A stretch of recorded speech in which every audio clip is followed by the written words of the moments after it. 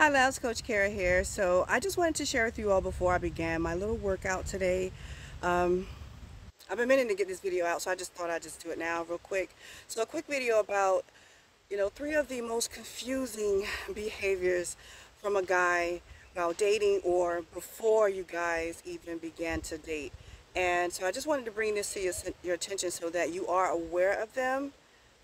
Yeah, so the first type of behavior, which I feel is the most the most confusing, and here's why, is because when we speak about communication, it's the the key to everything. It's it solidifies uh, your connection. It it allows you to know that the person is interested, which is all true. But here's the thing, guys. Yeah, there's always a catch. Here's the thing, is that just because someone is communicating with you multiple times a day, they are, you know, sharing things with you, reaching out. Hell, you guys might be hooking up or hang, hanging out, I should say, maybe a couple times a month.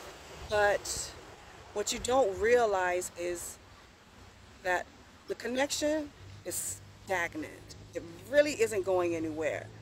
And so here's here's where the confusion lies. Just because you think this person is giving you all this sort of communicative attention that he's serious with you, right? And that he's really interested, but it's like he's jogging in place. So just to give you an example, he's jogging in place, not really going anywhere. He's being active, he's in motion, but your, your connection is not moving forward it's not getting the necessary depth that it needs to become something more. You understand what I'm saying? So you have to be very aware of that sort of, it's not a, may not even be intentional um, or whatever, but it could be. Have you just kind of like hanging in the balance? Uh, maybe he has other options or whatever, but you don't care because he's giving you all of this attention, you know, texting you five, six times a day, asking how you're doing, good morning, beautiful, the kissy face thing, and, and, you know, and more or whatever. And so you're thinking that you guys are really going someplace when in actuality you are not. So do not be confused about by this type of communication because what you'll find yourself is in a stagnant connection a year later. Yeah? All right, so moving right along to the second most confusing behavior from a, from a guy is when you guys actually begin to start dating and and just say a minor issue or misunderstanding arise and you address it. Say you text him and you get no reply. Time time goes on you know and before you know it later on that evening you get another text for him. Let's just say hey you want to hang out but never addressing the previous text. Now, that could be something that could be malicious, or it could just be fear of not wanting to engage in any kind of confrontation that will ruin or have an effect, a negative effect on your potential connection. Yeah? And so this is going to continuously happen because if this person is not brave enough, and I, and I think it's quite cowardice in a way to not want to address any type of situation, especially if it's something that's that's so minor and minuscule, it's going to be a bigger issue later on just with that lack of communication. All right, so it's quite confusing in the aspect of does this person take me seriously? I mean, I know they do because they're into me, he's taking me out, you know, he's communicating properly you know, in a way of, you know, hey, how you doing? How's your day? That sort of thing, like messaging and, and, and calling. But there's a major slack when it comes to addressing concerns. So you may feel like, okay, what are we doing here? Like, are you serious with me? Is, is this is a is this a game to you? Like it, it, it caused a big a, a, great amount of confusion with you. You understand what I'm saying? And this sort of behavior will happen in the beginning simply because he may not just want to lose you. And because of that, he just chooses to not address that sort of uh, concern in a more communicative way. All right. And lastly, here's another issue. Um, probably one of the more bigger ones. And so that is really being into you, right? You know this. You can tell you guys have had, you know, interactions with each other. You guys get along. Say you guys have mutual friends.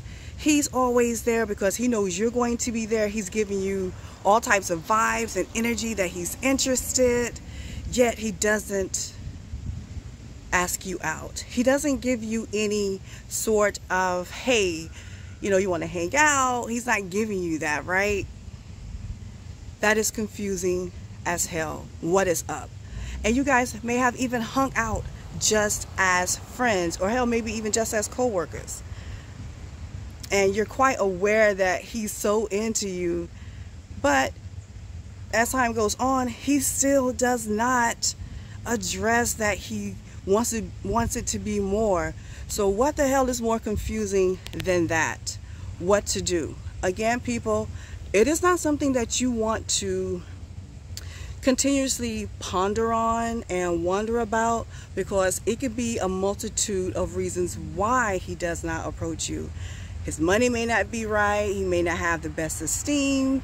He might feel that you're better than him. Like I said, it could be a plethora of reasons why this guy just doesn't go ahead and ask you out. But the confusion lies is when you're interested. Like you want to connect with him on a deeper level because he's not giving you that that green light, you know, hey, come over here and shoot your shot since I'm not. Then it just leaves you in this place of wondering, what the you know what I'm saying? This is some weird ish. You're not trying to get up with me, even though I know you are feeling me. But I can't approach you because I really don't know what's going on. You know what I'm saying? So it just makes the whole situation quite confusing and, and annoying, to say the least. All right, guys, so I just wanted to make those three confusing dating behaviors with guys aware to you. But here's the thing if you want dating coaching, and I've been doing quite a few of those as of late, helping you understand people's behavior because every situation is quite unique. So it's going to have a very different or somewhat different outcome. You know, it's just all about you knowing how to navigate the process of a potential connection if it isn't already connected, but to help you navigate through that because because to be honest, people are confusing as hell and you need assistance. You need help. And if you think that you're going to get through whatever you're going through or trying to get to with your person on your own and you're already struggling, you're wrong, my love. But that is why I am here to assist you with any of your coaching needs. All of my information will be linked down below. I thank you always for joining me. That is all for now. Let me go get my workout on. Until next time.